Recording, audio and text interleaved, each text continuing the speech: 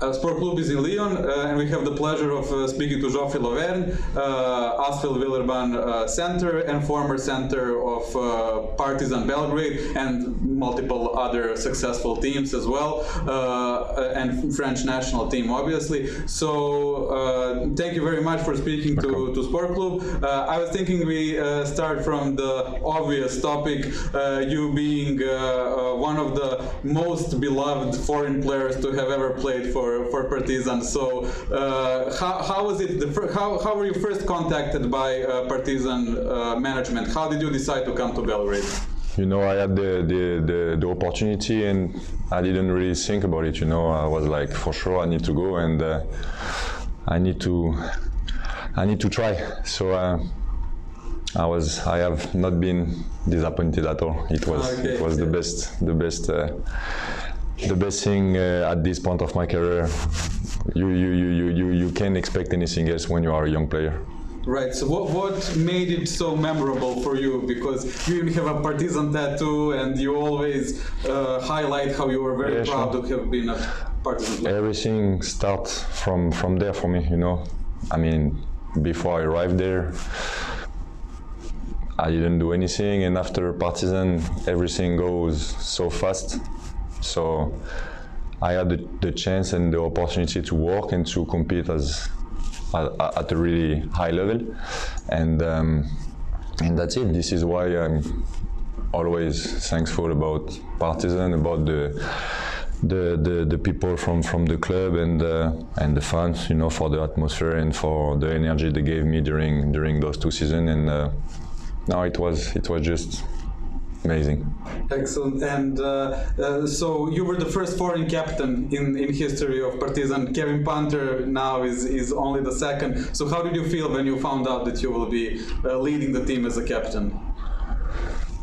I didn't expect it, to be honest. Uh, I was surprised, but you know, I was really proud for sure. But I was like, okay, I will, I will do as good as possible, and uh, and that's it. I'm I'm always thinking this way. You know, I'm doing the best I can, and then and then let's see. But it's it's easy to take life this way.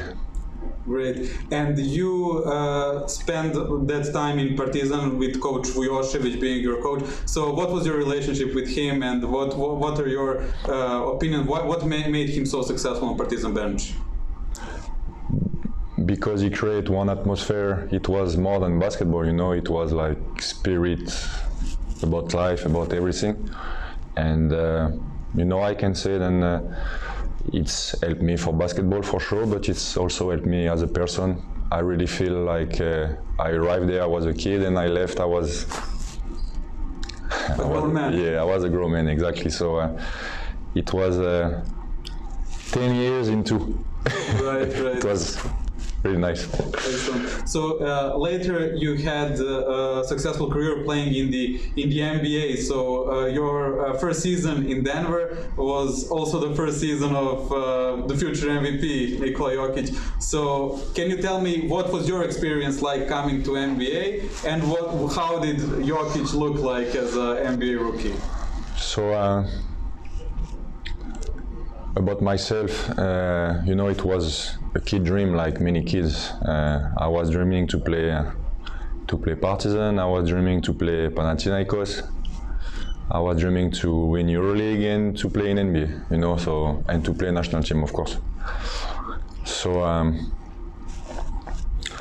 so when, when I when I arrived there, I was like, okay, it's really nice. Uh, it's really different also. Uh, so I was a little bit surprised at the beginning, especially going out from Partizan. You know, it was completely different.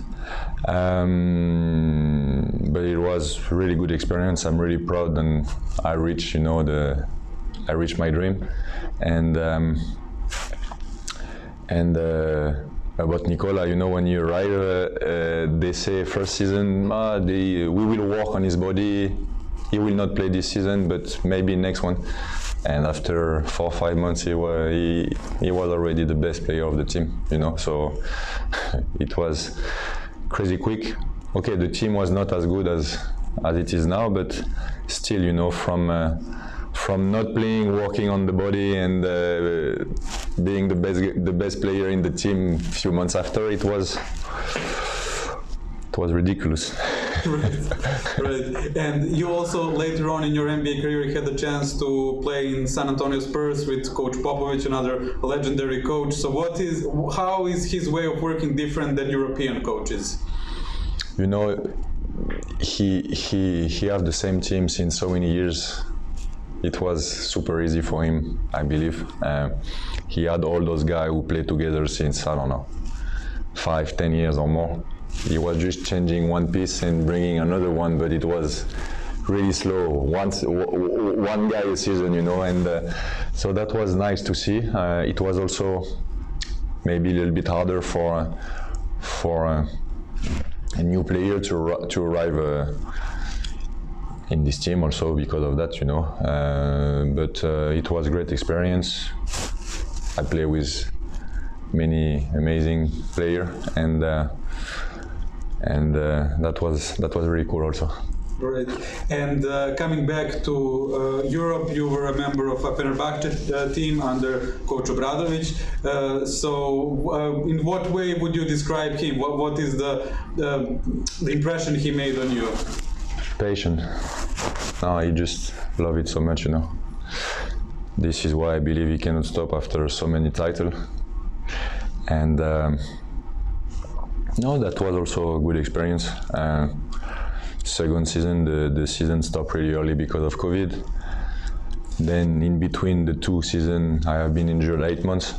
So uh, that was not the best uh, the best period of my life. Uh, but uh, about basketball was really interesting for sure.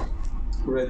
And uh, uh, now in the in the last uh, two seasons or season and a half, you have had uh, problems with injuries. So again, yeah, again, unfortunately. So how is the recovery going, and how are you satisfied with everything, and how hard can it be when you have to watch the game from the? Yeah, it's hard. It's hard. It's also make even more beautiful the the time you spend on the court. Um, so after Fenerbahce, I did the full season in uh, in Žalgiris. It was amazing too, to be honest. Uh, Partizan and Žalgiris so far was. I read, I read while uh, while uh, reading something on this interview that you said, apart from Partizan, this is the best basketball experience that I've had. Yeah, definitely. It was a great group of guys, great atmosphere.